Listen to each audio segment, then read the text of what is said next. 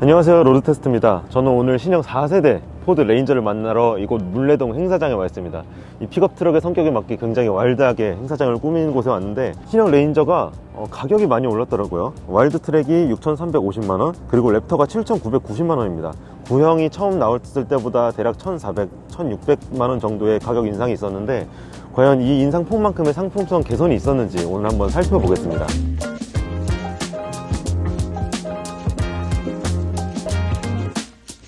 일단 신형 레인저는요 크기가 살짝 달라졌습니다. 길이 5370 너비 1920 높이 1885mm 고요. 휠베이스는 3270mm입니다. 구형 대비 길이는 120mm 줄었고 너비와 휠베이스는 50mm씩 늘어났습니다. 그리고 키는 30mm 커졌고요. 차폭을 50mm 늘리면서 주행 안정성을 개선했다고 하고요. 이 오버행이 짧아지면서 접근각과 이탈각이 개선됐다고 합니다 자 한번 이 새로 바뀐 디자인을 자세히 살펴볼게요. 일단 완전히 바뀌었습니다. 구형 레인저의 흔적이 거의 없을 정도예요. 이 C자형 주간주행등이 가장 큰 어, 특징이라고 할 수 있는데 레인저보다 한 급 작은 매버릭이나 아니면 대표 픽업 트럭인 F150과도 이제 family look을 같이 가져가겠다는 모양으로 보입니다. 자 이 차는 와일드 트랙이기 때문에 여기에 포드 엠블럼이 들어가는데 랩터 같은 경우는 무광으로 이게 포드 글자가 엄청 크게 쓰여 있습니다. 네 그리고 휠 크기도 차이가 있는데 일단 와일드 트랙을 보면 255, 65, 18인치 휠이 끼워져 있고요. 랩터 같은 경우는 17인치 휠이 끼워집니다. 자 그리고 와일드 트랙은 이렇게 플라스틱 몰딩도 딱히 크게 두드러지지 않는 그런 방식으로 되어 있는데 랩터는 아무래도 더 스포티한 성격이다 보니 밖으로 많이 튀어나와 있는 그런 cladding을 쓰고 있습니다. 자 이쪽 장식에는 이렇게 bi-turbo라는 어떤 엔진인지를 암시해주는 그런 장식이 붙어 있고요. 자 지금 보시면 이렇게 캠핑용 텐트를 크게 설치해 놨는데 이걸 할 수 있었던 이유가 이 안쪽에 있는 이 레일입니다. 이번에 적재함 양쪽에도 추가적으로 레일을 달아놔서 이렇게 각종 bracket을 설치한 다음에 장비를 얹거나 뭐 텐트를 칠 수 있는 그런 장점이 있고요 또 이 레인저를 만들 때 어, 고객들의 설문조사를 굉장히 많이 했다고 해요. 그런데 이 고객들이 적재함 옆으로 접근할 때 따로 발판이 없으니까 뒷바퀴를 밟고 올라갔다고 합니다. 그런데 뒷바퀴를 밟으려면 높이도 꽤 높거든요. 그래서 불편하기 때문에 이 부분을 개선하려고 여기에 이번에 발판을 새로 추가를 했습니다. 트렁크 패널에는 이렇게 레인저 글씨를 살짝 안쪽으로 파내서 새겨 놨고요. 이거 한번 열어볼까요? 어 얘는 이게 부드럽게 내려오는 건 없네요. 이렇게 툭 무겁게 떨어집니다. 그런데 다시 올릴 때 그렇게 무겁지는 않은 것 같아요 느낌이. 자 이 적재함도 많이 개선이 됐어요. 일단 이 바닥 베드라고 부르는 이 부분의 디자인을 바꿨다고 하고요. 또 차폭만 늘린 게 아니라 이 적재함 폭도 살짝 늘어나면서 안에 들어갈 수 있는 짐의 범위가 달라졌다고 합니다. 예를 들어 팔레트를 넣을 때는 차폭이 충분하지 않으면 기울여서 넣을 수밖에 없잖아요. 그런데 그런 것들도 한 번에 쭉 들어가게끔 안쪽 적재 공간을 넓혔다고 합니다. 아 그리고 여기 신기한 게 있어요. 여기 보이세요? 30, 40, 50 이렇게 줄자가 있습니다. 이 픽업 트럭을 작업용으로 쓰는 분들한테 아주 유용할 것 같은데 자 여기에다가 직접 뭐 목재 같은 걸 갖다 대서 길이를 측정할 수 있고 또 여기를 이렇게 누르면요 자 이렇게 빈 공간이 나타납니다. 여기에 이렇게 C자형으로 클램프를 꽉 물려서 자재를 고정할 수 있는 그런 용도로 마련한 곳입니다. 이 줄자 길이가 지금 0에서 130까지 있네요. 1m 30cm까지 측정을 할 수 있습니다. 실제로 여기 폭은 다르거든요. 한 요쯤까지 오는 것 같은데 네, 1m 30을 잴 수는 있어도 어, 그대로 넣을 수는 없다는 점 알아두셨으면 좋겠습니다. 자 그리고 적장 왼쪽에 이렇게 소켓들이 여러 개 있는데 12V 소켓이 있고요. 여기에는 230V 단자가 있습니다. 여기에는 적재함 안쪽을 비춰주는 조명이 들어 있습니다. 자 여기 금속 고리가 이렇게 있는데 여기 하나 저쪽에 하나 해서 총 4개가 적재함에 들어 있습니다. 와 이 실내가 그 구형 레인저는 생각이 안 날 정도로 진짜 많이 개선이 됐습니다 자 일단 제일 눈에 띄는 거는 이 스크린이겠죠. 세로용으로 엄청나게 큰 스크린이 들어 있습니다. 12인치고요. 이게 해외에서는 10.1인치 옵션이 있는데 국내 판매 사양은 12인치로 고정이 되어 있습니다. 네, 그리고 중앙 계기판도 이렇게 full 디지털 스크린으로 준비가 되어 있고요. 왼쪽에는 주행 속도 그리고 오른쪽에는 차의 앞뒤 양옆 기울기 그리고 differential lock 정보가 띄워져 있습니다. 자, 이 위에 버튼을 누르면 이렇게 다양한 기능들이 뜨고 있고 어, 카플레이 안드로이드 오토 다 있습니다. 그리고 차 이 레인저 모양을 누르면 이렇게 차에 여러 가지를 제어할 수 있는 기능들이 나옵니다. 일단 카메라 볼까요? 화질이 되게 좋습니다. 지금 360도 카메라가 적용이 되어 있는데 이 차를 위에서 볼 수 있어서 뭐 주차장에서는 물론 그리고 오프로드에서도 주변 상황을 파악하는 데 도움이 될 것 같고 아, 이걸 누르면 이렇게 앞쪽을 비추는 카메라 그리고 조금 더 폭을 넓게 볼 수 있는 화면 그리고 후방 카메라. 얘는 이제 견인고리 위치를 정확하게 보여주는 카메라입니다. 자 방금 시동을 걸었는데 어, 진동은 확실히 있네요. 이 차가 디젤 모델이라 그런지 이 운전자로 전해지는 진동은 어느 정도는 있습니다. 그리고 대시보드 너머로도 소리가 어느 정도 유입이 되고 있고요. 이 차가 프리미엄 모델은 아니다 보니까 이런 디젤 엔진의 소음 진동 유입은 어느 정도 감수해야 될 것 같습니다. 자 여기 화면에서는 자 이런 differential 정보가 뜨네요 지금 rear differential이 잠겨 있다는 그런 표시가 나타나고 있고요. 어, 위에는 전방 카메라가 나타나고 있는데 이 차의 경로를 나타내고 있습니다. 운전대를 틀면 이렇게 오른쪽으로 운전대 방향에 따라서 좀 그림이 움직이네요.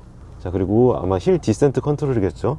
내리막길 주행 제어 준비가 됐다고 하고 이 기능을 쓰면 브레이크 페달을 내리막길에서 밟지 않아도 차가 일정 속도를 꾸준하게 유지하면서 언덕길을 내려가게 해줍니다 자 그리고 밑에 이쪽 부분은요 화- 어떤 화면을 골라도 고정이 되어 있습니다.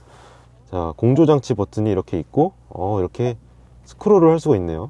근데 요거는 반응 속도가 괜찮습니다. 3단계 열선 기능이 들어 있습니다. 통풍 기능은 들어가지 않았습니다. 어, 일부 물리 버튼을 남겨놨습니다. 뭐 비상등 그리고 온도 조절 장치. 여기 이대로도 쓸 수 있고요. 자, 풍향 그리고 오디오 볼륨 이런 것들도 이쪽에 구성이 되어 있고요. 자 이렇게 터치랑 물리 버튼을 둘 다 남겨두니까 장갑을 꼈을 때도 이 온도 조절을 할 수 있다는 그런 장점이 있겠네요. 자 그리고 이 안쪽에 무선 충전 패드가 이렇게 있습니다. 요즘 나오는 스마트폰들 크기가 굉장히 크잖아요. 그런 것들도 충분히 들어갈 만큼 여유롭게 공간을 파놨습니다. 그리고 오른쪽 깊은 곳에는 USB-C 타입 하나, A 타입 하나 어, 단자가 있고요. 여기도 요만큼 깊이가 한 요 정도 되는 이제 수납 공간이 작게 있는데 뭐 동전 같은 거 아니면 펜 같은 거 잠깐 넣어두기 좋을 것 같습니다. 자 컵홀더는 이렇게 두 개 있고 와 이 기어 레버가 전자식입니다 여러분. 어, 매뉴얼 모드는 이 왼쪽에 버튼이 3개가 있거든요. 여기서 플러스 마이너스 그리고 매뉴얼 버튼까지 준비를 해놨습니다. 자 그리고 전자식 기어 레버. 어, 요걸 누르니까 아까 요 화면이 바로 활성화가 됩니다 사륜 구동 제어 시스템 사륜 high, 사륜 low, 사륜 auto, 이륜 high가 들어 있습니다. 이 버튼들을 누르면 이제 각 사륜 구동 모드를 활성화할 수 있고 이 다이얼을 왼쪽으로 이렇게 돌리면 이 계기판에서 주행 모드가 바뀌는 걸 확인할 수 있습니다. 자 그리고 이쪽 수납 공간은 이렇게 생겼습니다. 12V 소켓이 하나 있고 엄청 깊진 않네요. 자 그리고 이 천장 위에도 스위치가 있거든요. AUX 1부터 6까지 이런 토글 스위치가 들어있는데 아마 이 차에 여러 가지 전자장비를 연결했을 때 그, 그 라인에 전원을 공급하는 그런 스위치로 보입니다. 아 그리고 대시보드에 이렇게 또 홈을 파놨어요. 여기에 고무 패드도 깔아놔서 이렇게 휴대폰을 올려놔도 굉장히 안정적으로 보관을 할 수 있습니다. 역시 이런 게 실용성은 좋네요.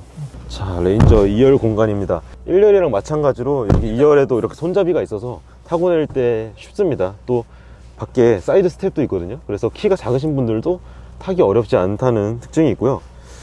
자 2열은 일단 차, 차, 일단 차체가 굉장히 크기 때문에 머리 공간, 무릎 공간 굉장히 다 널찍널찍합니다.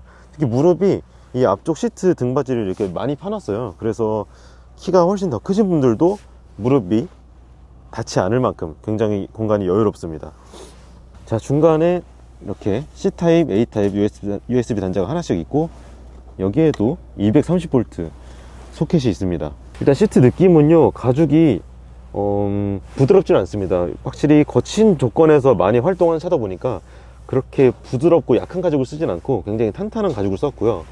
등받이 각도는 조금 서 있네요. 완전히 서 있어서 장거리가 불편하겠다 싶을 정도는 아니지만 그래도 국산 SUV 기준을 맞춰보면 좀 서 있는 편입니다.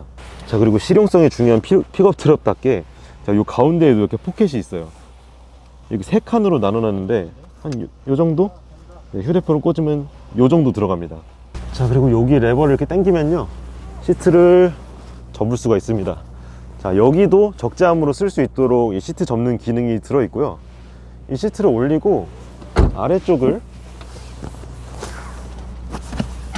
이렇게 하면 네 이렇게 아래쪽에도 공간이 어느 정도 있습니다. 지금 여기에는 뭐 수리킷이랑 삼각대 같은 게 들어있는데 이런 것들을 빼고 나면 뭐 어느 정도 잡다한 물건들은 지저분한 물건들은 보관할 수 있을 것 같아요. 자 이번엔 레인저 랩터입니다. 딱 보시자마자 이미지가 좀 다르죠?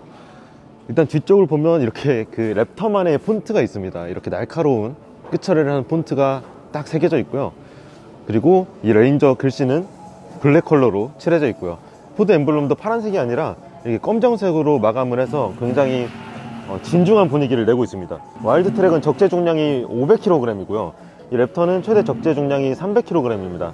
랩터랑 와일드 트랙의 리어 서스펜션 구조 차이인데요. 랩터에는 퍼포먼스 서스펜션이 들어갔고 와일드 트랙에는 standard duty 서스펜션이 들어갔습니다. 차이가 이 차의 리어 댐퍼를 보면요. 스프링이 추가로 감겨 있고요. 와일드 트랙을 보면 판 스프링과 그냥 유압식 댐퍼로만 구성이 되어 있습니다. 자, 와일드 트랙은 더 많은 짐을 싣고 또 캠핑을 떠나거나 작업을 위한 용도로 만들어졌기 때문에 그런 서스펜션을 만들고 최대 적재량을 500kg으로 늘렸다면 이 랩터는 이 자체만으로 달리는 즐거움을 어, 만들기 위한 차이기 때문에 서스펜션을 조금 더 부드럽고 고급스러운 걸 써서 적재 중량은 포기해도 이 운전의 즐거움을 더 확보를 했습니다. 네, 그리고 랩터에는요 이 아래쪽에 견인고리를 위한 장비도 없습니다. 이런 것들이 와일드 트랙과 랩터의 어, 성격 차이를 확실하게 보여주고 있는 부분이죠. 자 얘도 이렇게 힘없이 툭 떨어지고요. 아 여기를 보면 얘는 줄자도 없어요. 네 여기 이 차는 작업용 차가 확실히 아니라는 거죠. 대신에 이 클램프를 달 수 있는 이 홈은 그대로 마련을 했습니다. 자 안쪽 베드의 생김새도 똑같고 저 안쪽에 있는 소켓 12V 230V 소켓도 똑같이 들어 있습니다. 자 살짝 옆으로 와도 와일드 트랙이랑 차이가 많이 나는데 일단 이쪽에 있는 레일이 없죠? 오른쪽에 있던 발판도 빠졌습니다. 자 그리고 이 펜더 이 플라스틱 펜더가 엄청나게 이만큼 나와 있어요 지금. 이거 때문만이라도 와일드 트랙이랑 인상 차이가 확 납니다. 네 그리고 이쪽에는 이 타이어 높이가 정말 한 뼘이에요 한뼘. 이 랩터 전용 17인치 휠이 끼워져 있고 어, 저는 이런 모양의 휠캡은 처음 본 것 같아요. 포드 엠블럼이 들어가는 휠캡은 많이 봤지만 이렇게 왠지 주유구를 연상시키는 듯한 휠캡은 이번 랩터에서 처음 본 것 같습니다. 자 이 차는 사이드 스텝도 모양이 달라요. 이렇게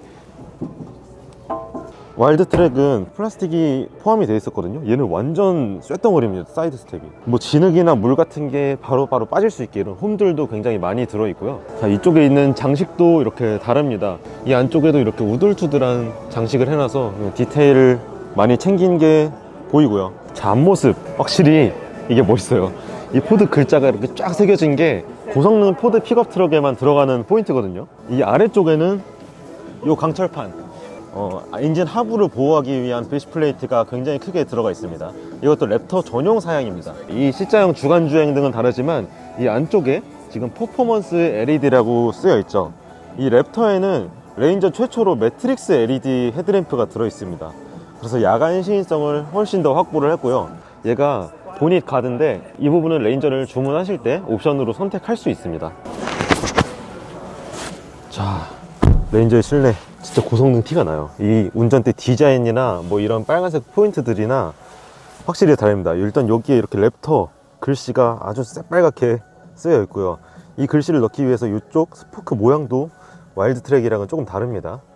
아 그리고 계기판이요. 아까 와일드 트랙도 충분히 넓은 디지털 디스플레이라고 생각했는데 이 랩터에는 양쪽 끝까지 화면으로 채운 그런 full screen이 들어갔습니다 지금 기본 화면인데 양쪽 뭐 기어 단수 굉장히 다양한 정보를 한 번에 띄워놓고 있습니다. 그리고 운전대 뒤에 이렇게 와 shift paddle. 이렇게 플러스 모양 홈도 파놓은 굉장히 디테일이 좋은 금속 shift paddle을 달아놨습니다. 이거 진짜 느낌 좋은데요? 딸깍딸깍 하는 게자 그리고 전체적으로 이런 red 포인트들이 이 차 안에 많이 쓰여 있고요. 어, 시트가 그리고 아까랑은 느낌이 확실히 다른 게 여기 이렇게 날개 튀어나온 거 보이세요? 엄청나게 두껍게 날개가 튀어나와 있고 이 부분에는 또 마찰력이 좋은 소재로 추가를 해놔서 운전자의 옆구리를 잘 지지해 주게끔 디자인이 되어 있습니다. stitch로만 red 컬러로 강조를 한 게 아니라 이런 면에도 이 헤드레스트 옆에도 이렇게 빨간색 포인트를 줘서 분위기가 확실히 다릅니다. 이 차 문 손잡이도 조금 독특하게 생겼는데 이렇게 손을 잡고 이렇게 당겨서 문을 열면 됩니다. 그래서 실제로 내릴 때 써보니까 이거 되게 편한 것 같아요. 이 가격 인상에 대한 그 부분을 얼마나 충족시킬 수 있을지는 모르겠어요. 시승 행사에서 한번 레인저의 진짜 모습을 살펴보도록 하겠습니다. 저는 또 다음 영상에서 찾아뵙겠습니다. 감사합니다.